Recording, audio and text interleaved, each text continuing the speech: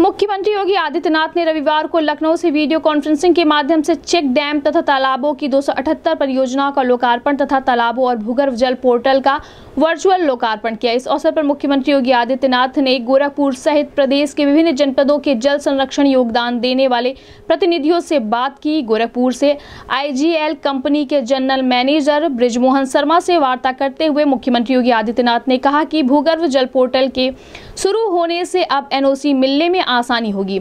मुख्यमंत्री ने कहा कि पहले जो एनओसी मिलने में दो से तीन महीने लगते थे, अब वह पंजीकृत करके एक या दो सप्ताह के भीतर मिल जाएगा। चेक डैम के संबंध में मुख्यमंत्री ने बताया कि चेक डैम बन जाने से बारिश का जल चेक डैम में एकत्र हो जाता है और उस एकत्र जल से खेतों की सिंचाई की जाती है तथा अन्य कार्यों में उस जल को उपयोग किया जा सकता है। मुख्यमंत्री के द्वारा चेक डैम तथा तालाबों की 278 परियोजनाओं का लोकार्पण तथा तालाबों और भूगर्भ जल पोर्टल का शुभारंभ करने पर एनआईसी हॉल में मौजूद लोगों ने मुख्यमंत्री को आभार ज्ञापित किया। इस संबंध में गोरखपुर न्यूज़ से बात करते हुए आईजीएल कंपनी के general manager Brijmohan Sharma, minor irrigation के अश्वनी शुक्ला तथा सीडीओ इंद्रजीत सिंह ने कहा।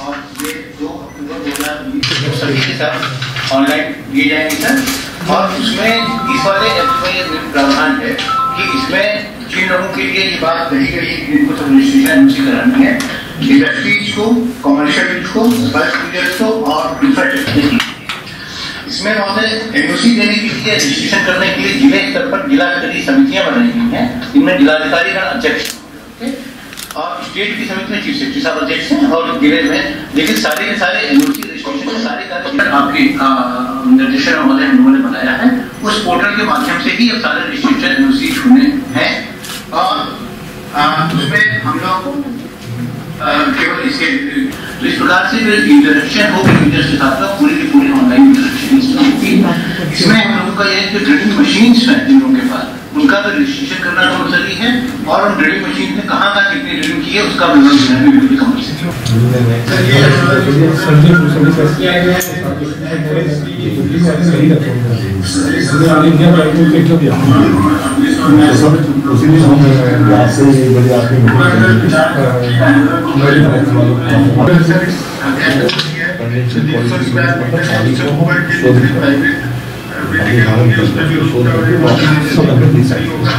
ऐप के अनुसार इस पोर्टल में सर ये चार सुविधाएँ हमें दिया हुआ है उनका पंजीकरण भी सर ऑनलाइन होगा एक मैं कर सकता उसके बारे में छोटा सा सर सिराज बता दें मैं बता प्रबंधन और विनियमन अधिनियम 2019 और चेक डैम तालाब के लोकार्पण के अवसर पर, जिनके नेतृत्व में उत्तर प्रदेश 2017 के बाद 2017 से एक नए स्वरूप में दिखाई पड़ रहा है, बदल रहा है, तेज़ी के साथ आगे बढ़ रहा है। और जिन्होंने पहली बूंद की स्याही से उत्तर प्रदेश के किसानों के लिए छत्तीस हज़ार करोड़ रुपए का कर्ज माफ़ी करके कर्ज से दबे हुए किसानों के जीवन में एक नई खुशहाली लाने का काम किया। ऐसे छियासी लाख किसानों को एक कर्ज माफ़ी जो वरदान के रूप में प्राप्त हुई और पहला वर्ष जिन्होंने किसानों के नाम समर्पित किया सरकार का और वर्तमान समय में कोविड 19 को लेकर के पूरी दुनिया में जिसकी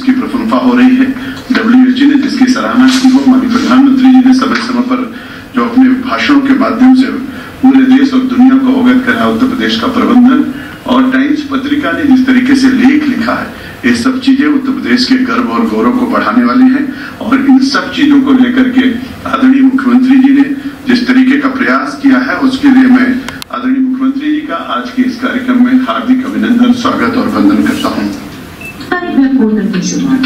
आप सभी का स्वागत है। माननीय मुख्यमंत्री योगी आदित्यनाथ जी के मार्गदर्शन से प्रदेश में भूजल संसाधनों की सुरक्षा, संरक्षण, प्रबंधन एवं नियमन किए जाने हेतु उत्तर प्रदेश भूगर्भ जल प्रबंधन एवं विनियम अधिनियम दो हज़ार उन्नीस लागू किया गया है। इस अधिनियम का मुख्य उद्देश्य जनमानस के लिए भूजल की उपलब्धता समान रूप से बनाए रखने एवं उन्हें गुणवत्ता परक जलापूर्ति सुनिश्चित किया जाना जल संरक्षण का एक कार्यक्रम पूरे देश के अंदर चल रहा है। वास्तव में ये बहुत बड़ा कार्यक्रम है। जल जीवन है। जल है तो कल है। जल के संरक्षण के लिए हमारे स्तर पर क्या प्रयास होना चाहिए? इस पर प्रधानमंत्री मोदी जी ने बाईस जून को प्रधान प्रावधान किया है वर्षा का एक एक बूंद जल हम संचय कर सकते जल शक्ति मंत्री प्रदेश डॉक्टर महेंद्र सिंह जी के कुशल नेतृत्व में। अधिनियम के विभिन्न प्राविधानों के समुचित एवं समयबद्ध क्रियान्वयन हेतु एक पारदर्शी व्यवस्था बनाए जाने के निर्देश दिए गए।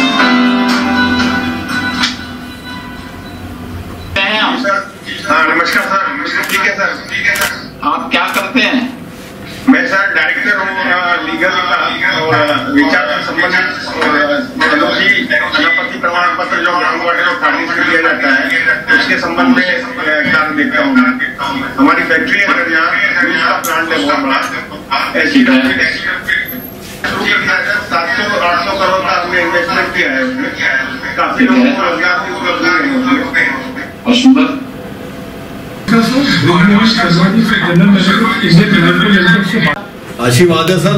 आपने सर ये जो साहसिक कार्य किया है, लोकार्पण किया है भूगर्भ जल पोर्टल का, उसके लिए आपको बहुत बहुत बधाई और पोर्टल की टीम को बहुत बहुत बधाई, जिससे कि हमारी जो एनओसी मिलने में और इधर उधर चक्कर काटने में समय लगता था, जिससे हमारा समय बचेगा और जो भी कोई क्योरी गैरमानसिक होंगे तो वो उसका निपटारा किया जा सकता है। और इससे जन मानस के लिए भी बहुत ज़्यादा पहल है सर ये, कि वाटर हार्वेस्टिंग की कैसे नॉलेज हो, और कैसे पौंड को रिचार्ज करना है, अपने क्षेत्र में कैसे हमें वाटर का लेवल मेंटेन करना है, ये सारी प्रक्रिया है, और टाइम के टाइम पोर्टल पे क्या नाम की उस पे वो कर सकते हैं हम। लेवल रिकॉर्डर के थ्रू चेकिंग कर सकते हैं क्या लेवल है।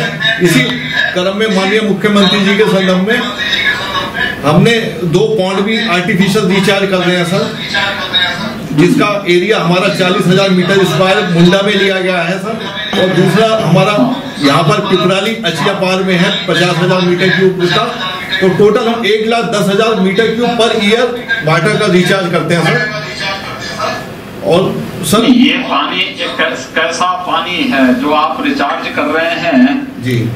ये बरसात का पानी है या फिर जो आपके प्लांट का जो एफ्लुएंट होगा या प्रदूषित जल है वह है। ये सर बरसात का पानी है किसानों के लिए खेती के लिए एग्रीकल्चर के लिए सुरक्षित रखने के लिए किया जा रहा है सर जिससे कि सेटिल सेटल हो, होने के पौंड की वो खराब हो सकता है उसको हम मेंटेन करते हैं। और दूसरा सर हमने एक संयंत्र लगा रखा है सीपीयू प्लांट अपने प्लांट के अंदर, जिससे पानी जो हमारा उत्सर्जन होता है पंद्रह सौ मीटर क्यूब पर डे, उसको वापस हम अपने प्लांट में रिसाइकिल कर लेते हैं, सर। और सर, वहाँ पर हमने वाटर हार्वेस्टिंग के लिए भी संयंत्र लगा रखे हैं, जिससे कि साफ़ पानी, बरसात का पानी उसमें कलेक्ट किया जा सके।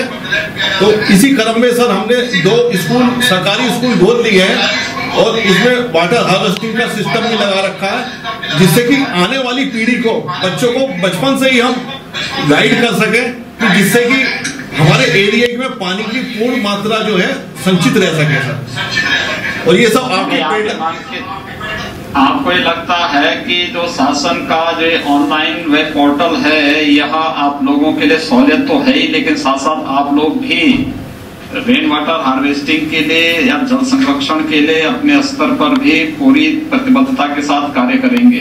बिल्कुल करेंगे सर जैसे आपने वो दिया है कि जल ही जीवन है और जल ही कल है सर। इसी दिशा निर्देश पे हमारे माननीय भरतिया जी शुक्ला जी उसी लाइन पे लगे हुए हैं और सर हम उसे आगे भी क्रियान्वित करते रहेंगे सर। और आपका आशीर्वाद हमेशा मिलता रहे सर। धन्यवाद जी बहुत बहुत धन्यवाद। प्रणाम सर। साउंड भी ज़्यादा रहता है ना यहाँ दिक्कत ज़्यादा है वहाँ पे साउंड भी ज़्यादा की सर, पहला तो ये सर कि हमने जल संरक्षण के लिए एक विशेष कार्य किया था जो लोअर गंगा मैदान है।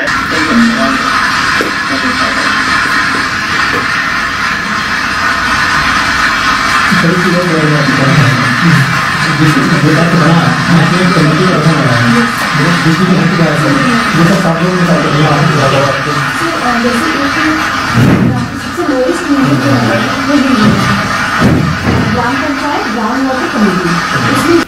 जो नवनिर्मित चेक डैम तथा तालाबों के लोकार्पण के लिए आयोजित आज के इस कार्यक्रम में उपस्थित प्रदेश सरकार में अरे वरिष्ठ सहयोगी मंत्री जल शक्ति मंत्री डॉक्टर महेंद्र सिंह जी, प्रदेश के मुख्य सचिव आर के तिवारी जी, प्रमुख सचिव, श्री श्रीवास्तव जी, प्रमुख सचिव मुख्यमंत्री कार्यालय श्री संजय प्रसाद जी, विभाग के सभी अधिकारीगण प्रदेश के विभिन्न जनपदों से मेरे साथ जुड़े हुए हमारे सभी जनप्रतिनिधिगण, जल संरक्षण के अभियान के साथ जुड़े हुए सभी अन्य महानुभाव, जल प्रबंधन समिति के सभी पदाधिकारीगण, और उपस्थित सभी विभिन्न जनपदों में उपस्थित भाइयों बहनों मुझे बहुत प्रसन्नता है कि आज उत्तर प्रदेश में भूगर्भ जल पोर्टल का शुभारंभ यहाँ पर हुआ है और इसके साथ ही बहुत सारी परियोजनाओं का लोकार्पण का कार्यक्रम भी संपन्न हुआ है। हम सब जानते हैं कि उत्तर प्रदेश अटल भूजल योजना के अंतर्गत मात्र 10 जनपद प्रदेश के अंदर चयनित थे। लेकिन जल की उपयोगिता और आने वाले समय में जो मांग थी, इसको ध्यान में रख करके प्रदेश सरकार ने निर्णय लिया कि नहीं, इसको सभी पिछहत्तर जनपदों में एक साथ लागू करना चाहिए। देखिए, मांग और आपूर्ति में जब भी असंतुलन होगा तो समस्याएँ खड़ी होंगी। जल की मांग तो हर एक स्तर पर है, लेकिन आपूर्ति की उसकी अपनी एक सीमा है। और मांग और आपूर्ति की सीमा में जब भी विषमता हुई तो वहाँ पे अतिदोहित विकास खंड क्रिटिकल विकास खंड प्रदेश के अंदर बनते हुए दिखाई दिए। मुझे याद है जब हम लोग आए थे 2017 में, तब हमें बताया गया कि प्रदेश के अंदर लगभग 200 के आसपास विकास खंड ऐसे हैं। यानी एक चौथाई विकास खंड प्रदेश के अंदर ऐसे हैं। जिन विकास खंडों में जिन्हें डार्क जोन घोषित किया जा चुका है, जहाँ कोई ट्यूबवेल नहीं लगेगा, जहाँ पे कोई जल से संचालित या जल की उपयोगिता जिन उद्योगों में रहेगी, इस प्रकार के उद्योगों को कोई एनओसी नहीं मिलेगी और तमाम अन्य प्रकार की बातें हमने इसकी जाँच कराई कि ये चीज़ें कब आई। तो पता लगा ये उन्नीस सौ चौरानवे के पहले सर्वे में इस प्रकार की चीज़ें आई थी।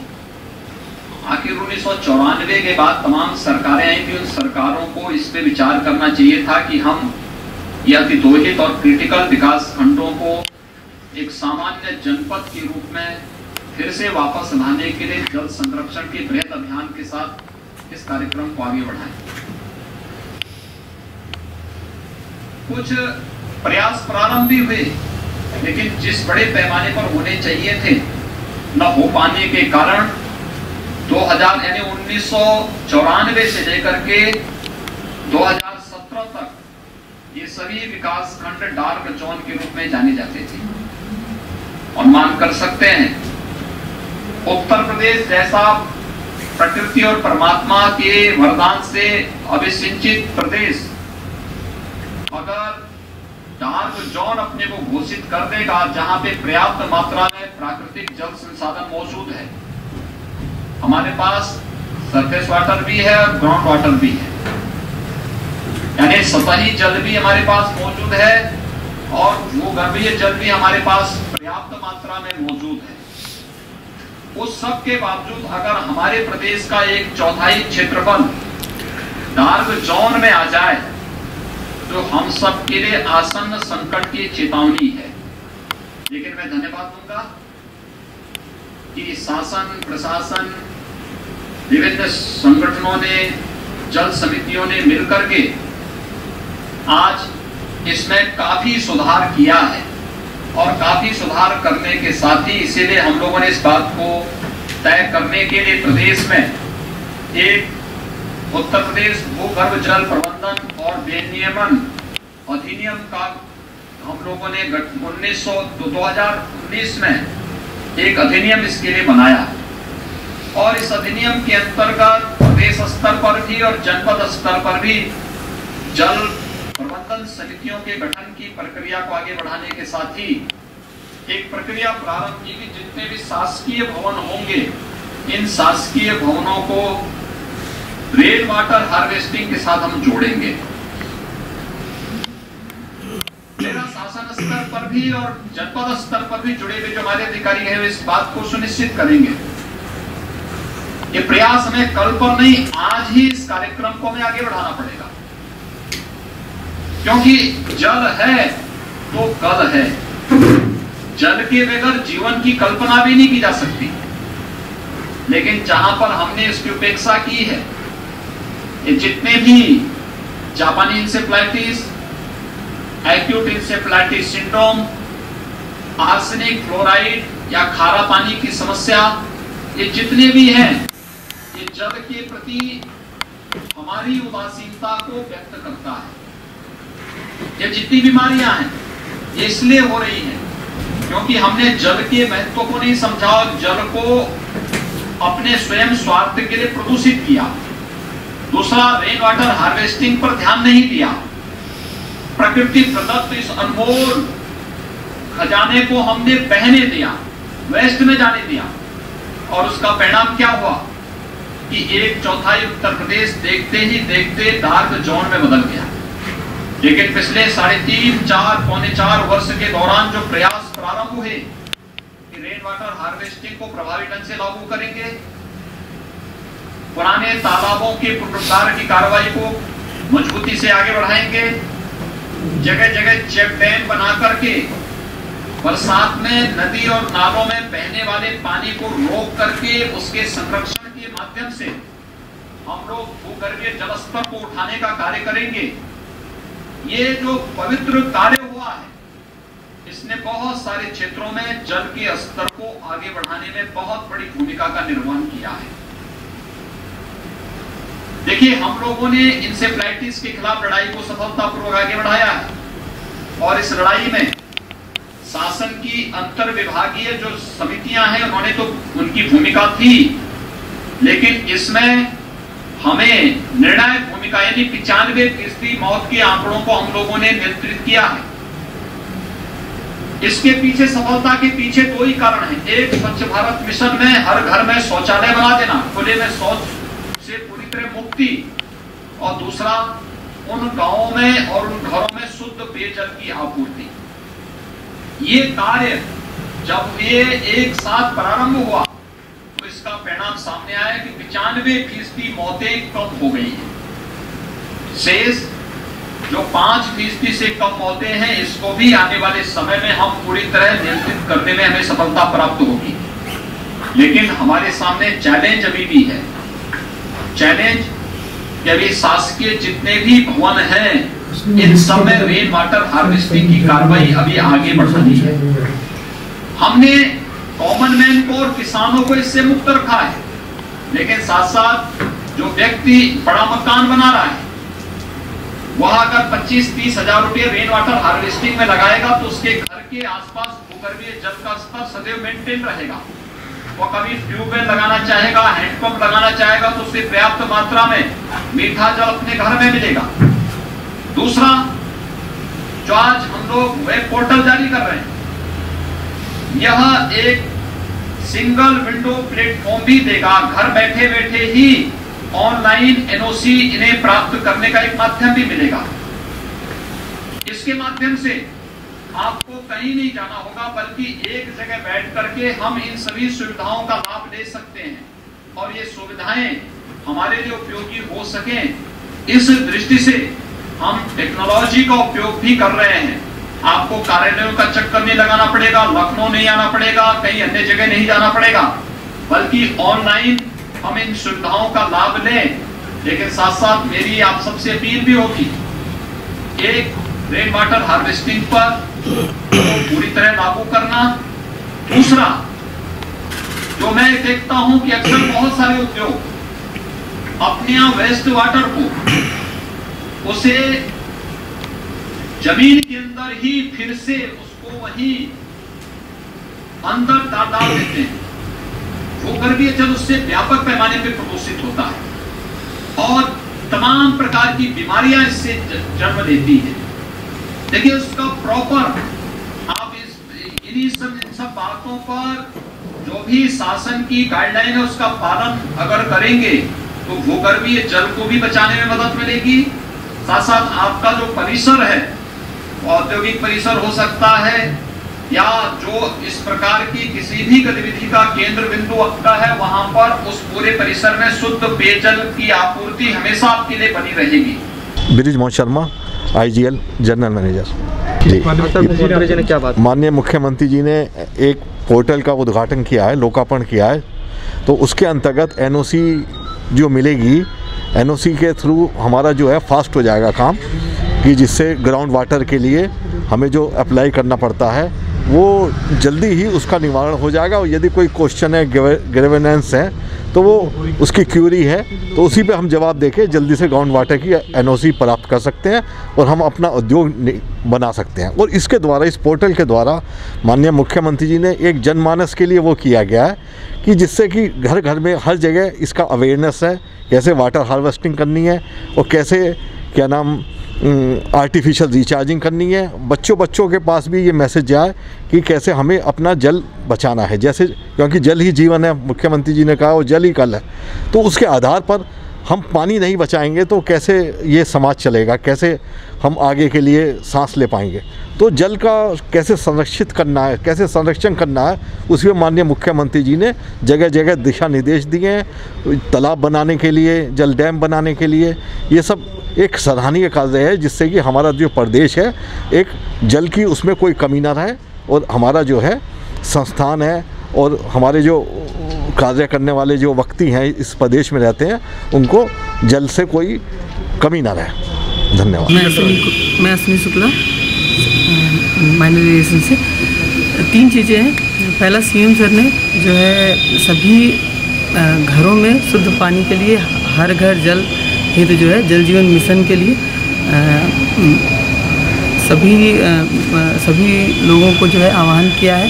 कि जिससे जो है सभी लोग पार्टिसिपेट करें सब जनमानस भी पार्टिसिपेट करें और शुद्ध पानी पेयजल का उपयोग करें जिससे बीमारियाँ ना हो सके। दूसरा चीज़ है रेन वाटर हार्वेस्टिंग को बढ़ावा देना है।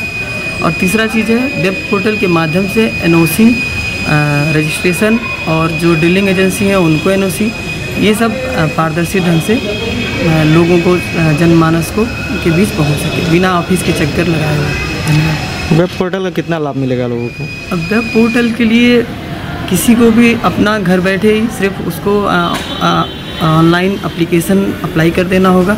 उसके पास एक ओटीपी आ जाएगा। ओटीपी के माध्यम से वो रेगुलर चेकअप चेक कर सकते हैं कि कैसे हमारा सिस्टम आगे बढ़ रहा है कहाँ पहुँचा।